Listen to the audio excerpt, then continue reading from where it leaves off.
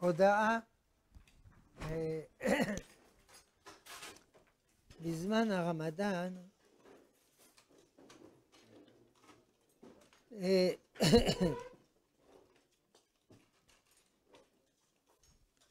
כאשר רוצים ללכת תוך הפיזור של האנשים שם, צריך ללכת עם ליווי,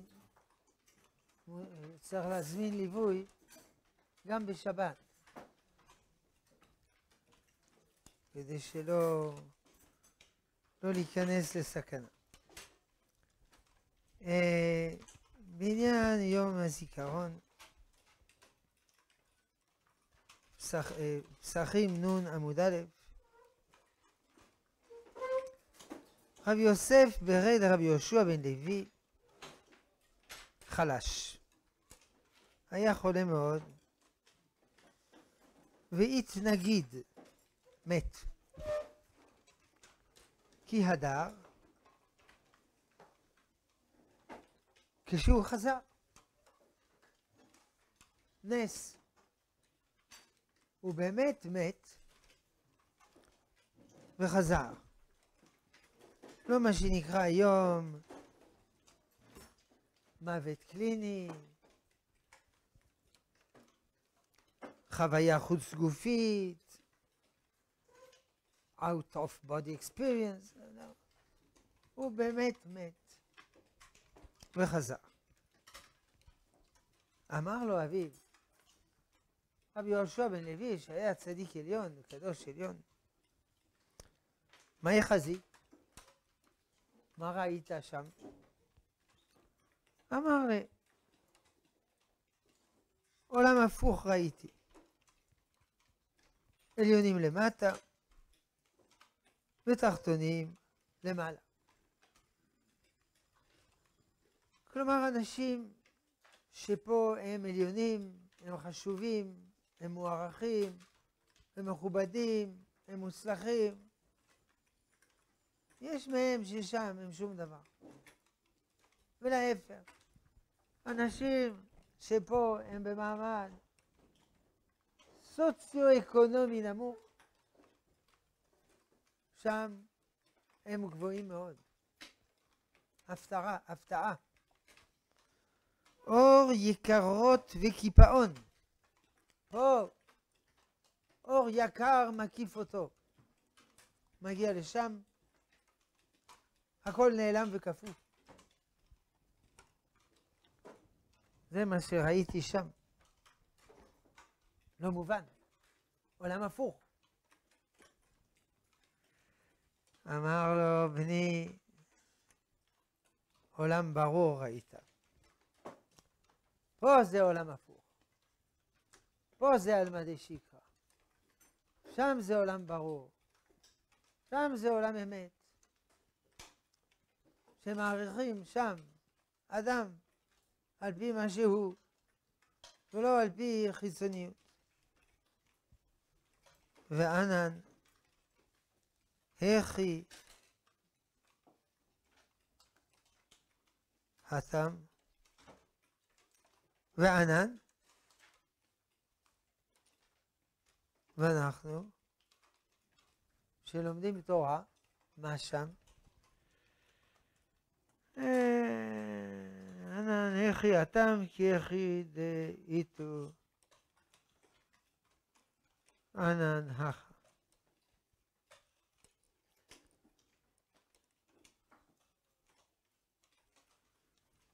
אנא נחייתם, אנחנו איך אנחנו שם, כי יחי דאיתו אנן אחא, כמו שאנחנו פה. כלומר, מי שלומד תורה, הוא שווה פה, הוא שווה שם. התורה זה טוב בכל העולמים. לפני העולמים ובתוך העולמים. ושמעתי שאומרים, אשרי מי שבא לכאן ותלמודו בידו. ביטוי ידוע, תלמודו בידו. מה פירוש בידו? לא רק איזה לימוד תיאורטי, שכלי, מופשט, לא, זה בידו, הוא לומד, הוא מקיים, הוא עושה, ברוך השם. ושמעתי שהיו אומרים, הרוגי מלכות, אין אדם יכול לעמוד ממחיצתן. אבל הרוגי מלכות הם מעל לומדי תורה, שתלמודם בידם. ומן נינו, מי, מי הם? הרוגי מלכות.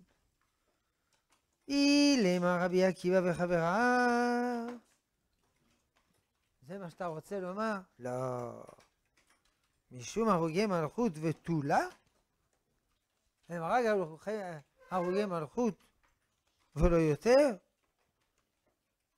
הרי יש להם עוד מעלה, שמלאי תורה. אלא הרוגי לא. בת המלך נמצאה מתה.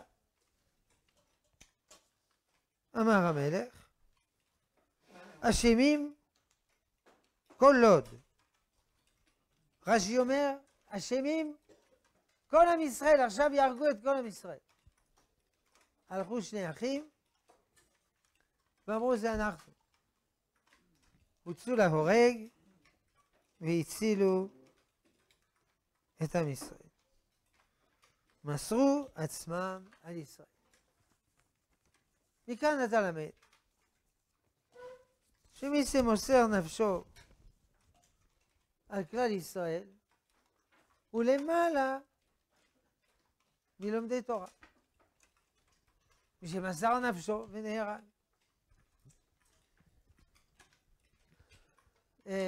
אומנם, הם לא היו חייבים לעשות את זה. אדם לא חייב להיהרג כדי להציל את חברו. ידוע, בבא מציע, ס"ב, קיתון מים, ישתו שניהם, ימותו שניהם, ישתה אחד, יחיה. חייך קודמים לחיי חברה. אבל אם הוא רוצה לתת לחברו, הוא יכול. הוא לא חייב, הוא יכול.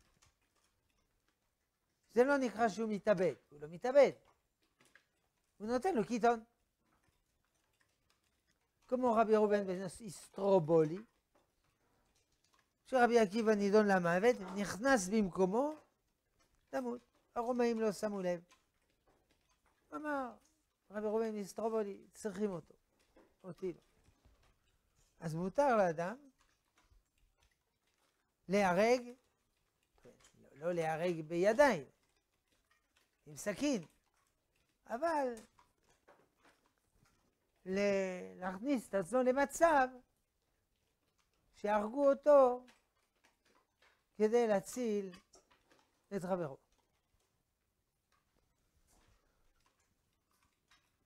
אה, יש אפילו בספר של רבי יעקב חגיז, איך זה נקרא שו"ת רבי יעקב חגיז? מה? הלכות קטנות. שני חברים, אחד נידון למוות, אחד השתחל במקומו. מי הכי גדול? הוא לא רצה לענות. לחצו, הוא ענה. הוא השתחל למות, והשאיר את חברו חי ומצטער כל החיים. זה התנהגות. זה שאלות של קדושים, תשובות של קדושים. בצבא זה גדר אחר. בצבא אדם מסתכן בשביל כולם. אחרת אתה צריך לסגור את הצבא. קדימה. למה קדימה? אחורה. לא, לא, לא, לא. ככה אי אפשר לנהל צבא. הלכות צבא זה לא אותם הלכות. זה, זה בנוי על מסירות נפש.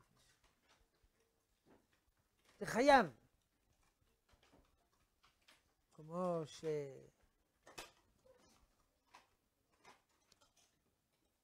אומר המנחת חינוך על החינוך, שאדם חייב אה, להילחם. ואם אה, עמלק וכולו, אה, ואם הוא יכול לעשות את זה בלי להסתכן, עבר בלאו. אומר מנחת חינוך, מה זה עבר בלאו אם הוא יכול להסתכן? אי אפשר לנהל צבא בלי להסתכן, צבא, טבע העולם נהרגים. קושי על החינוך. תירוץ. החינוך לא מדבר במסגרת מלחמתית, במסגרת פרטית. אני הולך, פוגש באוטובוס עמלקי, הורג אותו. אם אני לא הורג אותו, אני עובר בלאו. אם יכולתי להרוג אותו בלי להסתכל. אבל במלחמה, זה טבע המלחמה שמסתכנים. ולכן מי שבנה בית, נטע כרם, נשא אישה, הוא לא יוצא למלחמת רשות, כי זה מסוכן. אז מה, מה, הוא יישאר בבית? שנה הבאה הוא יצא. בשנה הבאה לא יהיו יותר מלחמות. אל תדאג, אל תדאג. מלחמה הבאה הוא יצא. המלחמה זה גדרים אחרים. מלחמה, אחד בשביל כולם, כולם בשביל אחד. אמנם זה לא פסוק בגמרא, זה שלושת המוסקטרים, אבל זה נכון. זה גם הסיסמה הבלתי רשמית של שווייץ. כי פעם בשווייץ היה אזור, לא היה מה לאכול, עוני, אמרו, טוב, נו, תנו כולם לכולם. אחד בשביל כולם, כולם בשביל אחד. ככה בנוי צבא. ומי שיוצא לצבא, הוא יוצא על דעת מסירות נפש. בעזרת השם, לא יקרה לו כלום. אבל יכול לקרות לו. והוא הולך על דעת זה. אפשר לקבל את הספר אה, אה, אור לנתיבתי. על דעת כן הוא הולך, הוא מסתכל. אז זה שני דברים. א', הוא מסתכן, ב', הוא מציל. בספר אה, פלא יועץ, ערך הצלה, הוא אומר שמי שמציל אנשים, גם אם הוא יהודי פשוט, הוא יותר גדול מתלמיד חכם. ככה הוא אומר. הוא לא מדבר על מי שנהרג, לא, הציל. אה, הוא מביא דברי חז"ל, שפושעי אה, ישראל, אפילו ריקנים, אפילו ריקנים שבישראל מלאי מצוות כרימון. סתירה מיני ובה. אם הוא ריק, איך הוא מלא? קושי ידוע. הוא מתרץ, הוא ריק, הוא לא, הוא לא מלא טהרה, קדושה, מצוות, אבל הוא הציל. אז הוא מלא מצוות כרימון יותר מאשר תלמידי חכמים. בספר הזה, עמוד שי"ב. אור לנתיבתי של הרב ציודה. בבוא אלינו חבורת חיילינו מבני ברק ורמת גן.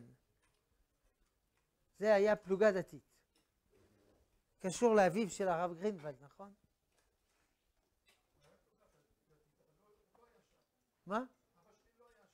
אבל הוא היה, בפלוגה הדתית, אבל לא היה שם. קשור.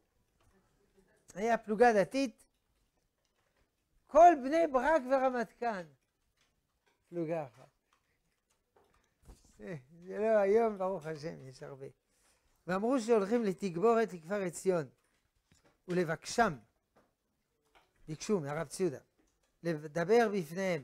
אמרתי להם בתוך הדברים על גודל עניין קידוש השם ומצוות מלחמת הארץ, עם חיוב הצלת הנפשות של עכשיו, בברכה נרגשת ומועמקה, שהם יקדשו את השם, מודגש בחייהם. סוגריים, וכן היה אחר כך תודה לאל. עם ההודעה כי דווקא ממקור האמונה והקדושה והמצוות וכו'. כלומר, הוא מזכיר שניסי הגבורות התחילו מלחמת השחרור בכפר עציון, טירת צבי, הרטוב, כפר דרום, אצל הדתיים.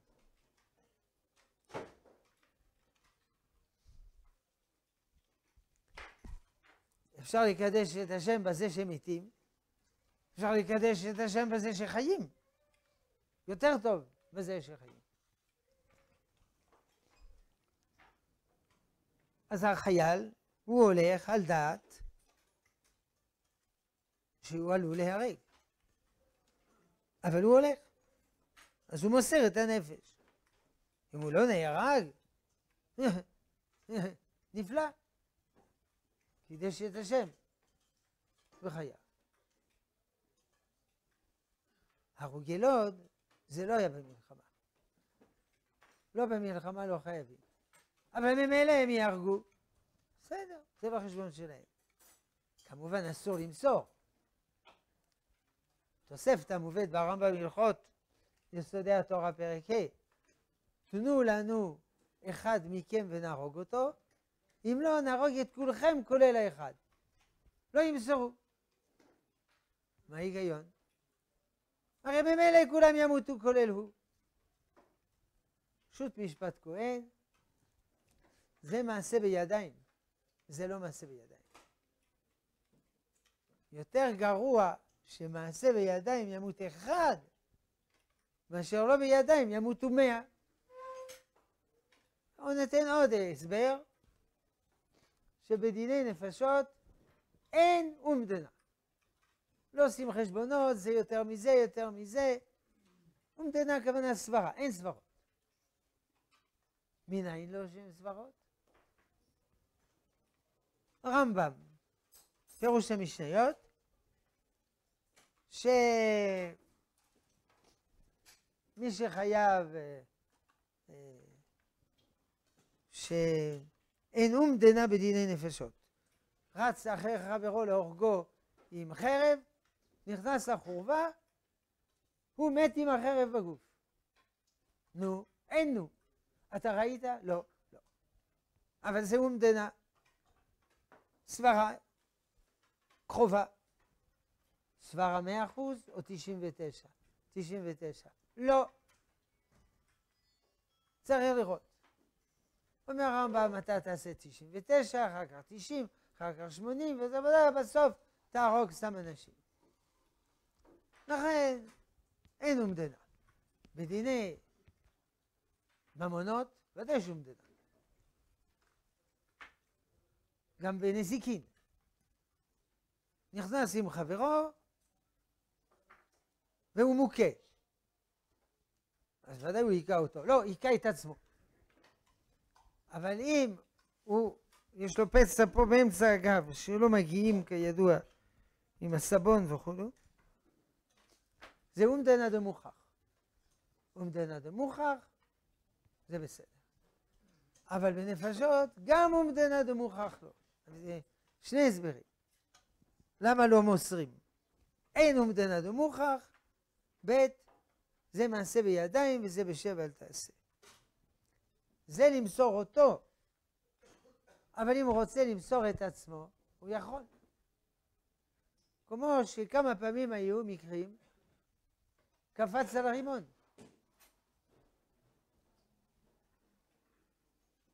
איך קראו לו זה מלחמת השם? אורי קליין, אה, אה, אה, לא אורי, רועי קליין קפץ על הרימון, וגם נתן אלבז קפץ על הרימון. אז זלזלו במרוקאים. אמרו מרוקאי סכין.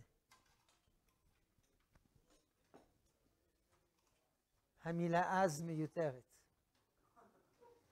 הבוקר, כן. הוריי מתנגדים שאתחתן עם מישהו, כן. מה הבעיה שלו?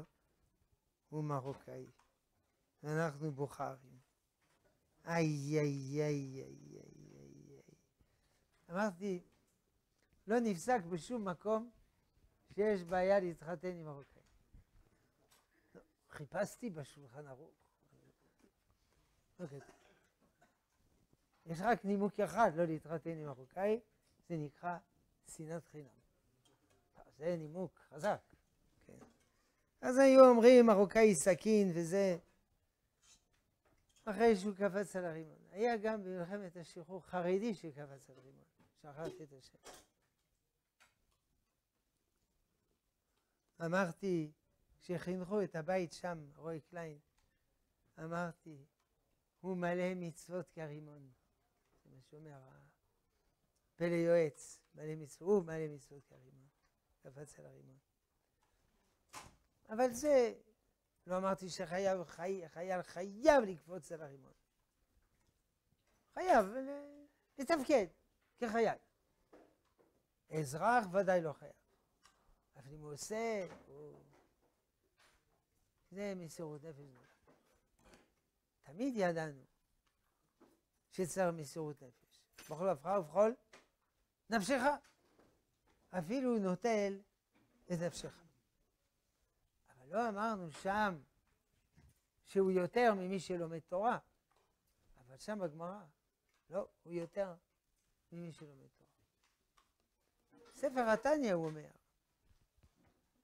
אם יגידו לך, תעבוד עבודה זרה או נזרוק אותך לאש, תזרקו אותי לאש. יגידו לך, קום לתפילה, אני עייף.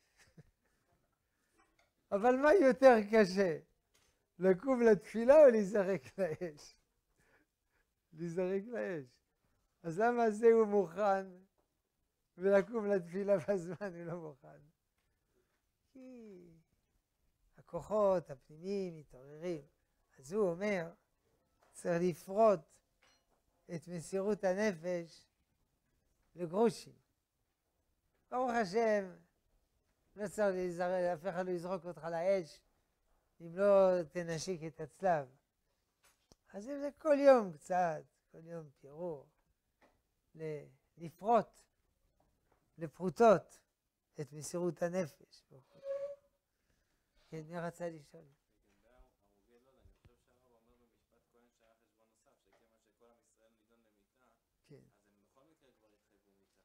נכון. זה נכון, אבל אי אפשר לחייב אותם. אפשר להתיר להם. נכון. יש כמה שיקולים למה להתיר. להתיר, הכוונה, עוד פעם, לא דוקר את עצמו. אם כי לקפוץ על הרימון, זה ממש להיהרג.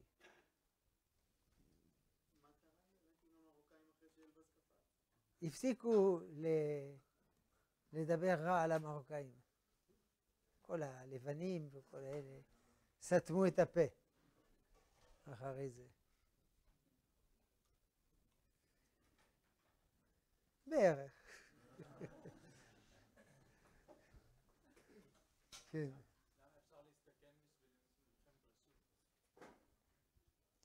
למה אפשר להסתכן בשביל מלחמת רשות? גדרי מלחמה. כלומר, לא חייבים לצאת למלחמת רשות, הרי זה רשות, אבל יש סמכות למלך להוציא למלחמת רשות. וכשהוא מוציא למלחמת רשות, נהרגים. יש לו סמכות להוציא חיילים בסכנת נפשות למלחמת רשות. כלומר, גם מלחמת רשות יש לזה ערך. מה, לא סתם ככה כשמתחשק לו? לא, הוא צריך אישור הסנהדרין. הרמב"ם אומר להרבות שמעו. מה להרבות שמעו? שיהיה לו כבוד. אלא שיתפשט שם ישראל בעולם ולהחזיר בתשובה כל העולם, או דברים כאלה. אגב, חזון איש מחדש חידוש. שכל מלחמת רשות הופכת למלחמת מצווה. כי ברגע שאתה תוקף, האויב תוקף בחזרה. הוא תוקף. מלחמת הגנה. מיד זה נהפך למלחמת מצווה. איפה החזון איש מדבר על זה? הלכות נטילת ידיים. כי, כי ארבע דברים פתרו במחנה, אחד מהם נטילת ידיים. אז הוא חייב לדון. איזה מחנה? מחנה עורפי, מחנה קדמי, מחנה צריפין, מחנה חיל אוויר, מחנה חיל מודיעין. איזה מחנה? מלחמת מצווה, מלחמת רשות.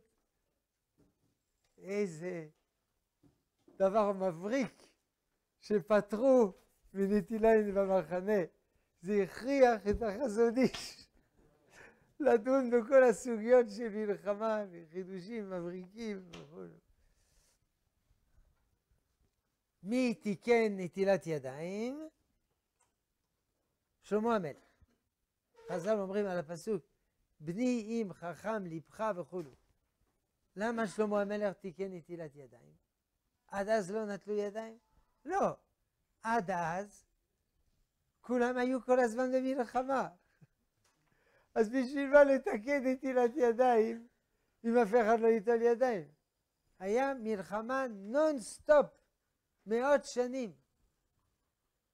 אז לא, לא אמרתי שלא נטלו אף פעם ידיים, אבל אם היו בעיות, לא, לא נטלו ידיים. בזמן שלמה המלך, החליט, התחילו ליטול ידיים. יכלו הרבה ליטול ידיים.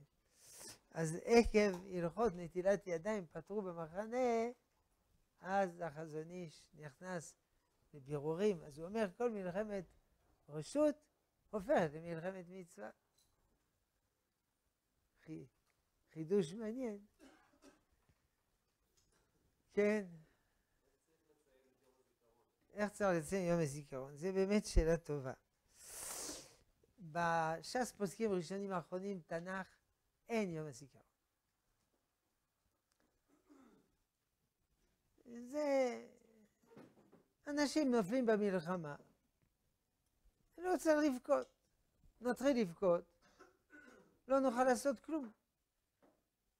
ידוע, שייר הלח"י, חיילים אלמונים וזה.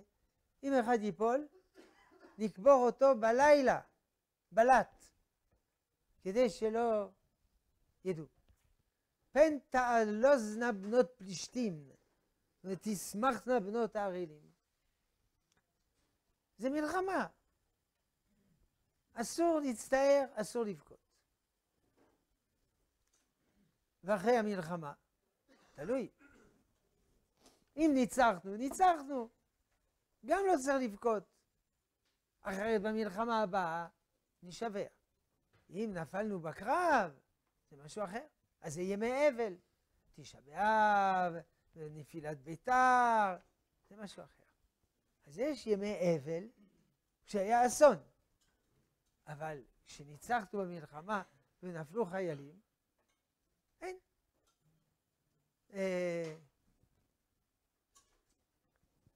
אה, אומר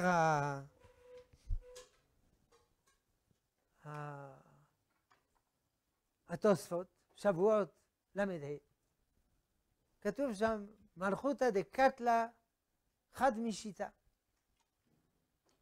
לא מיעניש. מלכות, מלך, שהרג אחד משישה, לא נענש. רש"י, במלחמה. שישית העם הלך במלחמה. שנאמר, האלף לך שלמה, ומאתיים לשומרים את פריו. אלף, מאתיים, מתוך, זה שישית. אומר התוספות, במלחמת רשות, מלחמת מצווה, אין גבול. כותב הרב גורן בספר תורת השבת והמועד, במלחמת מצווה אין גבול. בתנאי שיש סיכוי לנצח. לא, לא להתאבד. אין גבול.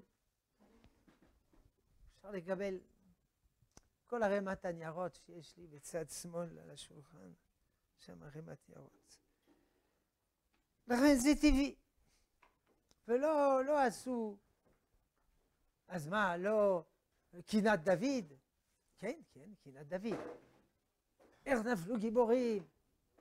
יש אומרים שאיך נפלו גיבורים, תודה רבה. זה הפזמון שדוד אמר מה שאמר, ואז חזרו ואמרו, כולם, איך נפלו גיבורים, איך נפלו גיבורים. כלומר, עם כל העצבות העצומה שנפלו, אה, יחד עם זה הוסיפו גבורה. איך נפלו גיבורים. וגיבורים, ויסוד החור, כל ביטויי הגבורה. ספר שנקרא מנהיגות צבאית בדרכי נועם.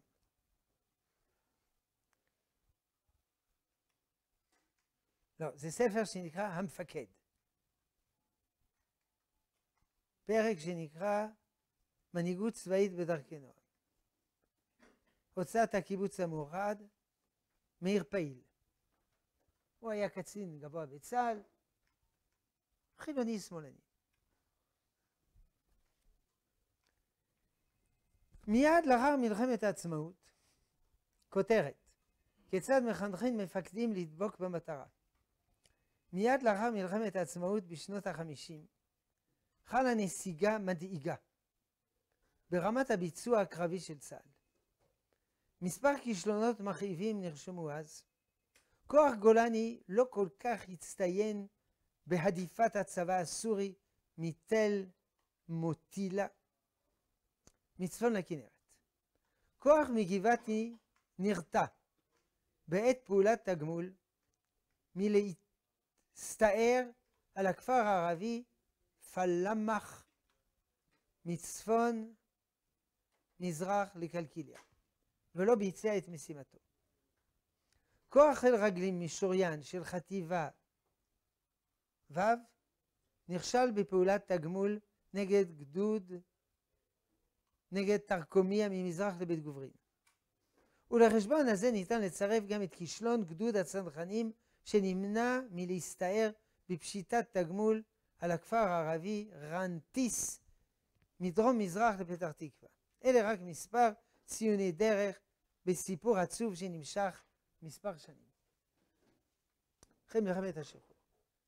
יש הטוענים שהירידה המדאיגה ברמת התפעול הקרבי-מקצועי של צה"ל באותה עת הייתה תוצאה של נפילת המתח לאחר ההצלחה במבחן הקיומי של מלחמת העצמאות. אחרים סוברים כי גרם לכך גיוס החובה המוני של העולים החדשים שהגיעו ארצה. ויש משוכנעים כי סיבת הסיבות להידרדרות נבע מנטיית הפיקוד הצבאי העליון ועידוד הדרג המדיני לנטוש את מורשת ההגנה והפלמ"ח ולהמירה בחיקוי סגנון המשמעת והלחימה של הצבא הבריטי. בסופו של דבר נחלט צה"ל מהמשבר לקראת מבצע קדש. מלחמת אה, סיני. באמצעות מגוון פעילויות, אשר החשובה מכולן הייתה מהפך בשיטות האימון המבצעי ובשיטות הכשרת המפקדים וחינוכם, תוך הסתמכות מתחדשת ומחדשת על מורשת הגנה והפלמ"ח. כאן ברצוני לציין רק מהלך מנהיגותי חריף אחד בכיוון של חיזוק הלבבות. משה דיין מונה לרמטכ"ל בתחילת 54 עם פרישתו הראשונה של בן גוריון לשדה בוקר. במלחמת העצמאות היה מפקד גדוד ומפקד החטיבה הירושלמית ואחר כך כיהן כאלוף פיקוד הדרום, כאלוף פיקוד הצפון וכראש אג"ם במטכ"ל.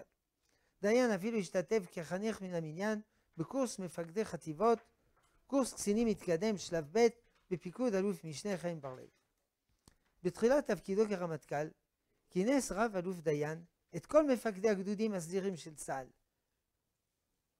את הממונים עליהם בכל דרגי הפיקוד ואת מקביליהם באגפים המבצעיים של כל הרמות, מהחטיבות ועד המטכ"ל.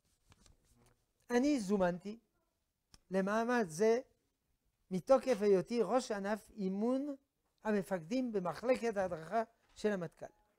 נושא הכנס היה חוסר נחישות המפקדים הקרביים בביצוע משימותיהם המבצעיות, כפי שהומחש בחלק מפעולות התגמול. נציג ממחלקת המבצעים של המטכ"ל הציג חלק מהביזיונות וחלק מההצלחות, התפתח דיון קצר, והרמטכ"ל השיב לדברים שהסתיימו במשפט המהמם הבא: מעתה ואילך לא יחזור מפקד ממבצע מבלי שיבצע את משימתו, אלא אם שיעור אבדותיו מגיע או עולה על 50 אחוז. שק התוספות.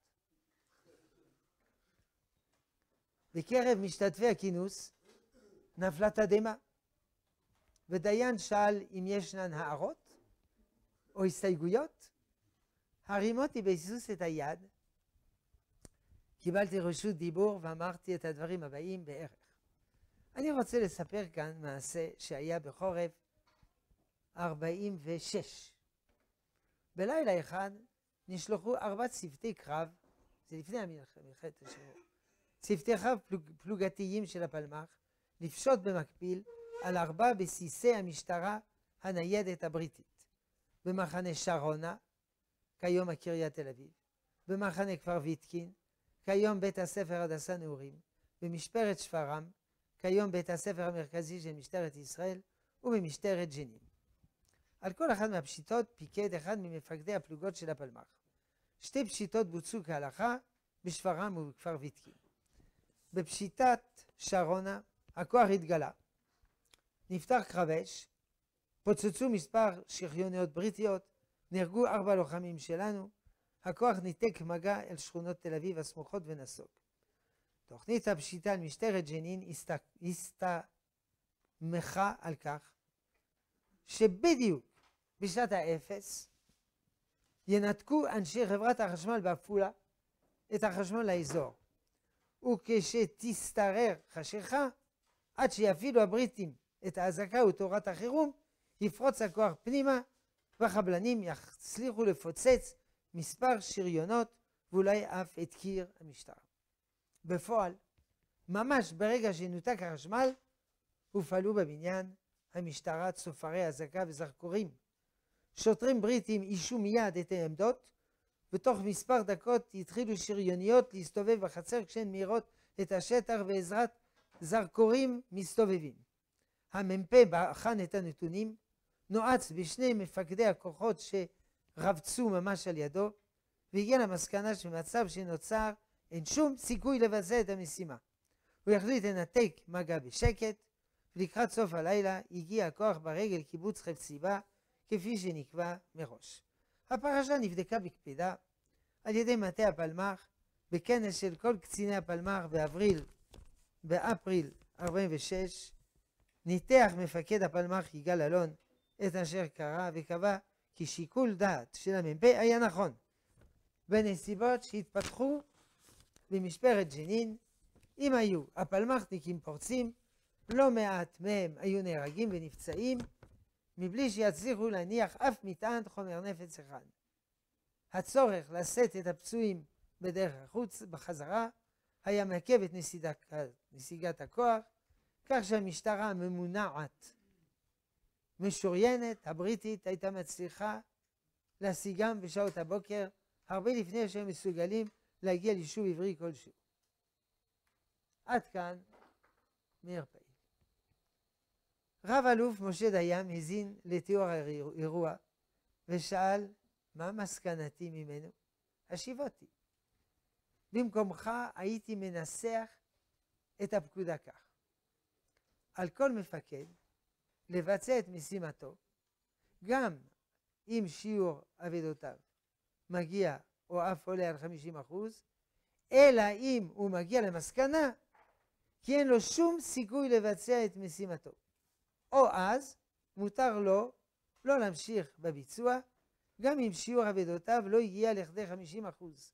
השאלה העיקרית היא, באיזו מידה אתה מוכן לסמוך על חבר קציני צה"ל. אני חושב שצריך למיינם ולהכשירם כראוי על מנת שיהיה ניתן לסמוך עליהם. עד כאן. הרמטכ"ל הגיב בנחצות. יפה דרשת, אבל מרגע זה ואילך לא יחזור מפקד ממבצע מבלי לבצע את משימתו, אלא אם שיעור אבדותיו מגיע או עולה על 50 אחוז. חייבים להודות, כי פקודתו זו של משה דיין זעזעה את אמות הסיפים והביאה לשיפור ניכר של רוח המלחמה. כמובן, מי שיגיד את זה היום, יהרגו אותו. אף על פי שהרמטכ"ל החדש, כוכבי, איך קוראים לו? אביב כוכבי, גם הוא כזה תקיף ולוחמני וכו' וכו'. על כל פנים, משה דיין, פס, מה החוכמה? זה כתוב בתוספות. הוא לא למד תוספות. זה לא חוכמה, אנחנו ראינו את זה בתוספות. הוא ידע את זה בלי ללמוד תוספות. טוב, למה הזכרנו כל זה אני לא זוכר.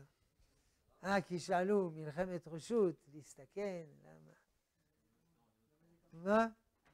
אה, זה מזיכרון. אז אה, מזיכרון. אה, מה עושים בימי זיכרון? לומדים תורה לעילוי נשמתם. אפשר גם לתת צדקה לעילוי נשמתם. לעשות חסד לעילוי נשמתם. זהו. ללכת לטקס שמנגנים בספירת העומר, לעילוי נשמתם אתה עושה עבירה, ושרות נשים, זה עילוי נשמתם. אבל מה נעשה? העם היושב בציון, הוא אוהב uh, להרגיש, מה זה עושה עילוי נשמתם? לא. אפשר ללמוד, אפשר לקרוא על מעשי גבורתם. מתוך כך להתמלא אומץ וגבורה. אפשר ללמוד תורה, אפשר לעשות מצוות, לעילוי נשמתם. אפשר לומר אל מלא רחמים. מתי? ביום עצמאות. אמצע יום עצמאות, מפסיקים, אל מלא רחמים וזה, ממשיכים. אבל העם היושב בציון, זה לא שייך. לא, יום עצמאות הוא שמח, יום עצוב, אי אפשר לפרוש מהציבור. על כל פנים, מה עושים? אמרנו, לימוד תורה, אל מלא רחמים, מצוות, ואפשר ללמוד על גבורתם. כן, מי עוד רצה לשאול?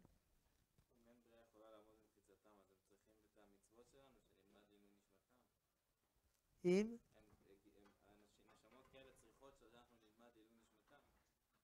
זו שאלה טובה. הם לא צריכים שנלמד, אבל תמיד אפשר להוסיף. כי גם מי שאי אפשר ללמוד במחיצתו, הוא בכל זאת נידון על עבירות שלו.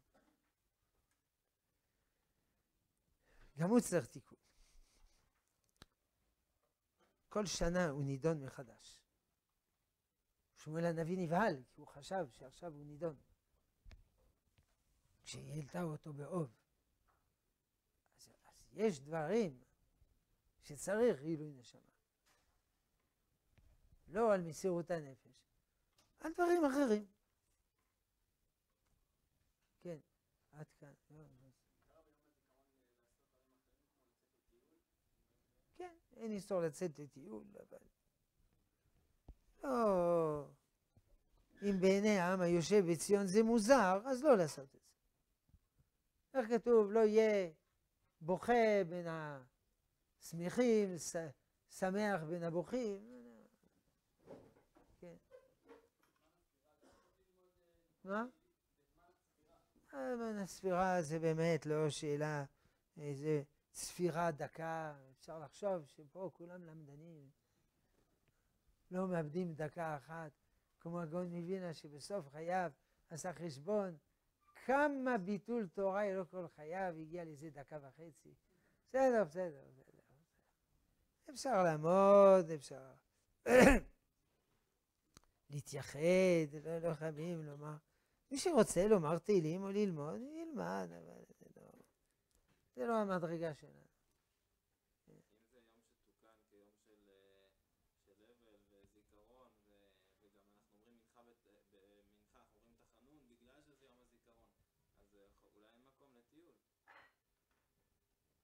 תראה, א', זה לא... זה לא בין הזמנים, הזמן זה לטייל. אבל איסור אי אפשר לאסור. אבל אה, אמרנו, בעיני העם היושב בציון, זה נראה שאתה פוגע, אתה מעליב, אז לא צריך לסיים. טוב,